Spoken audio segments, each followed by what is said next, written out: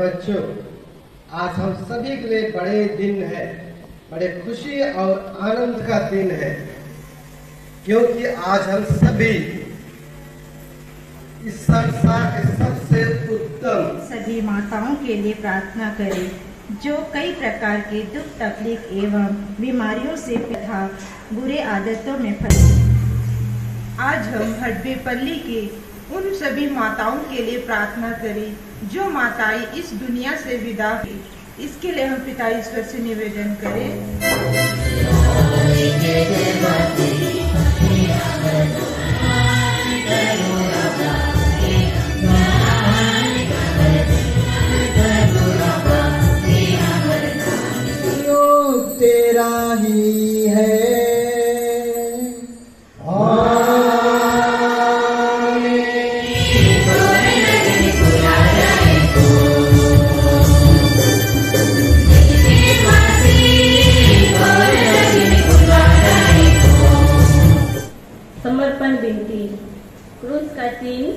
पिता और पुत्र और पवित्र आत्मा के नाम पर आमीन।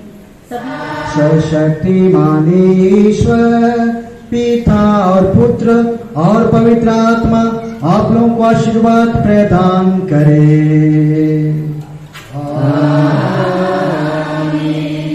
आप लोग विदा लें मिसा संपन्न हुआ।